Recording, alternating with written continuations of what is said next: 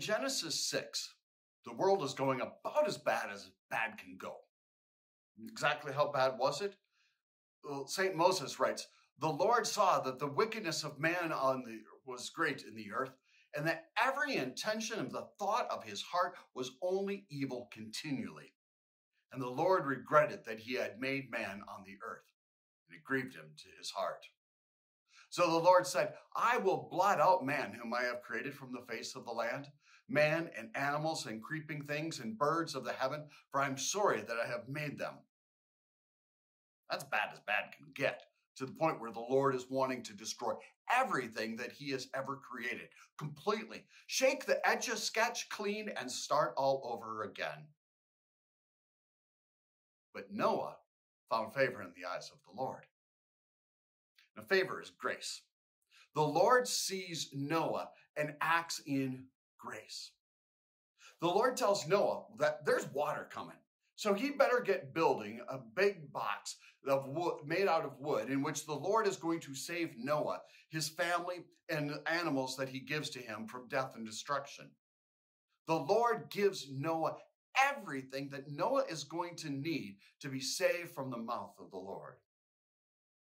And as crazy as the plan sounds to Noah, as crazy as the world around Noah may have found him, I love verse 22 of Genesis 6.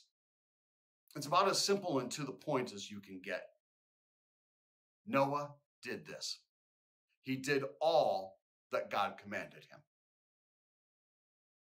Noah did this. Dear saints in Christ, that is faith. Faith that gives way to action.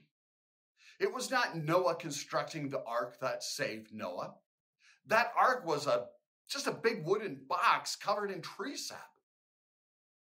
No, the Lord saved Noah and everything in that ark. The Lord spoke, Noah believed the word of the Lord, and Noah acted in faith toward his neighbor, namely his wife, his sons, and their wives. So think about that for a moment.